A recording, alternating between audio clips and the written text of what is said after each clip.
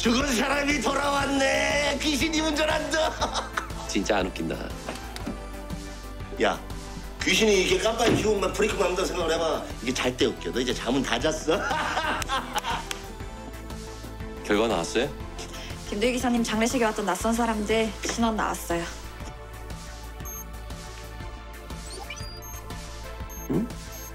모두 같은 용역업체 소속이네? 그리고 이들 모두 여기서 근무 중이에요. 블랙선이네요. 플렉슨, 강남의 그 유명한 클럽. 클럽에서 김도기 기사를 왜 노려? 김덕희 기사 사람 그렇게 안 봤는데 그래서 술 먹고 도망간 적 있어? 형님. 아니면 우리가 뭐 쟤네 뭔가를 건드렸나 보지. 원래 어둠의 종사자들이 자기 영역이나 그 사업장 침범하는 거 진짜 싫어하잖아. 안 그래? 뭐야 뭐야. 나 지금 날카롭게 뭔가를 파고든 거지, 그치? 그치? 거기 하나 더. 김군이 그때 그렇게 말했지. 죽은 다음에 움직이는 사람한테 주목하라고. 사직서요?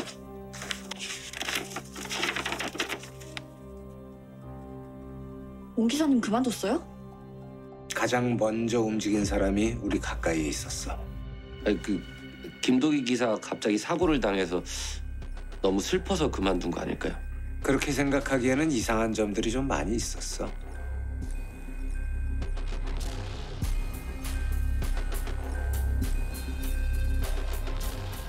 자네 지금 거기서 뭐 하는 거야?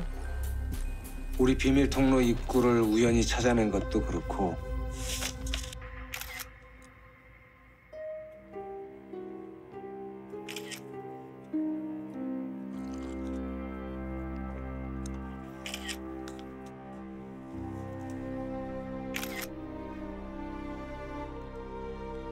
입사할 때 제출했던 이력서 여기 써 있는 전 직장 이전 주소지 다 찾아가 봤는데 오나준이라는 이름을 아는 사람은 아무도 없었어. 핸드폰도 없는 번호라고 나오는데요. 아, 아 아니, 아니 그럼 지금 온 기사가 김도기 기사를 죽이려고 했다는 거예요?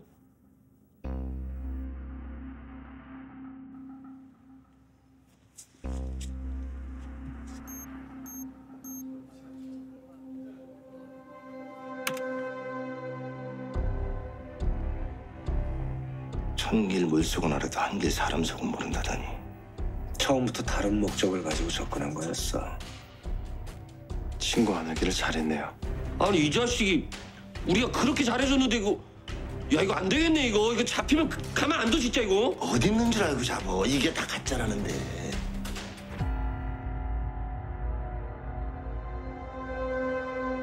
모든 실마리는 저기에 있겠죠.